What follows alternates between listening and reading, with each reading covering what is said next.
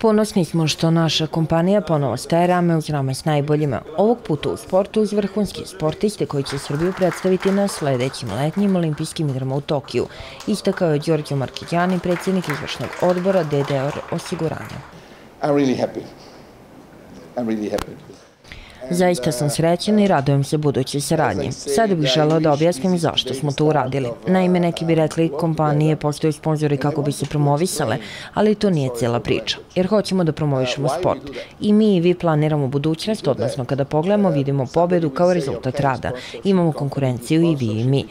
Zato je razlog da kroz ovo sponzorstvo budemo u Srbiju i da budemo deo nje. Mi moramo da pokažemo svima su naše očekivanja bazirana na polju fair playa. Tenje je deo sporta skoro uvek iako bi trebalo biti uvek, a olimpijske igre su simbol fair playa.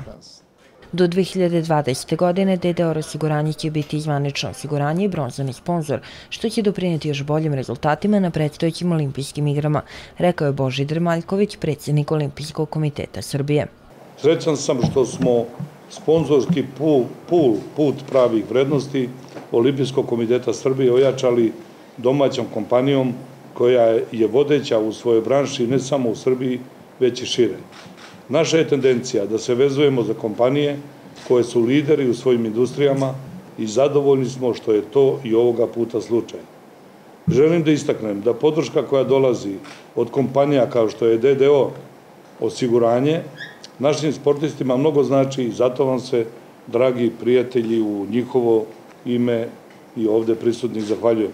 Nakon potpisivanja ugovora otvorena je izložba koja se nalazi u holu centralne zgrade DDR osiguranja pod nazivom Letnje olimpijske igre kroz istoriju.